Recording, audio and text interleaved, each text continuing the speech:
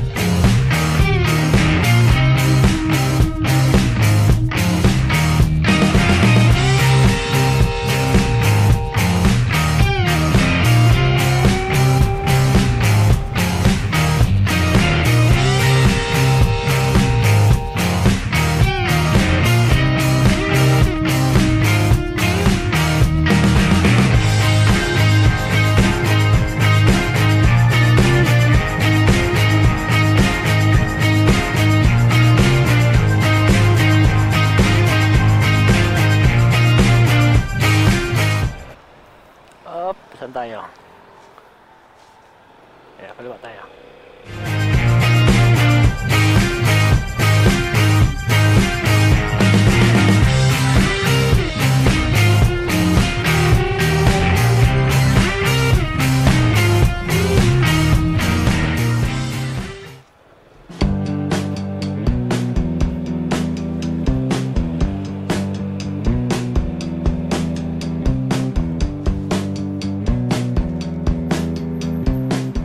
Maylin, no?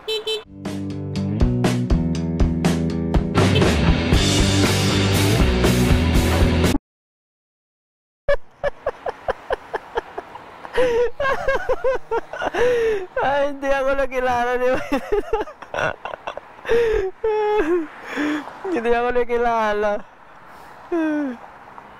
Busy kasi eh.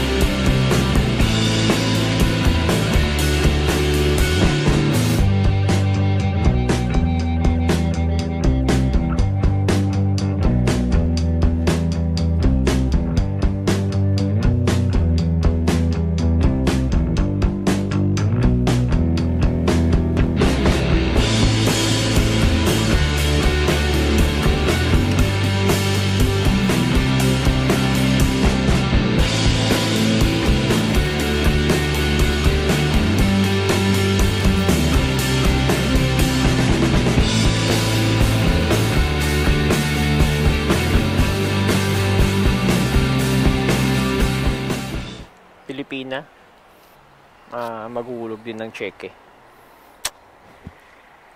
Well, dito kasi sa France, pag ah, meron kang trabaho, mostly ang mga employer mo ang binabayad sa iyo is cheque. Kasi ah, pag hindi cheque, karamitan yon is ah, illegal. Ah, hindi ka declared, so hindi sila nagbabayad ng tax sa'yo. Pero kung cheque, obligado sila magbayad ng tax sa'yo.